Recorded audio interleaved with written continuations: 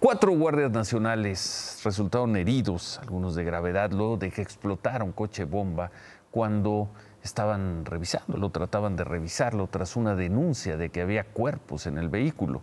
Esto ocurrió anoche en la comunidad de Saus de Villaseñor, en Celaya.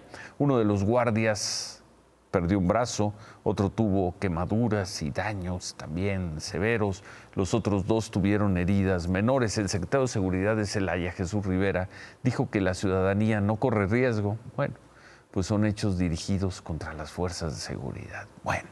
De acuerdo con Causa en Común, la organización Causa en Común, Guanajuato es el estado donde más policías han sido asesinados. En lo que va del año han sido 32. En las últimas semanas los ataques se han concentrado en Celaya. Ahí 13 policías, casi la mitad de los que han muerto en el estado, fueron asesinados solo en Celaya. Durante junio se dieron siete de estos asesinatos.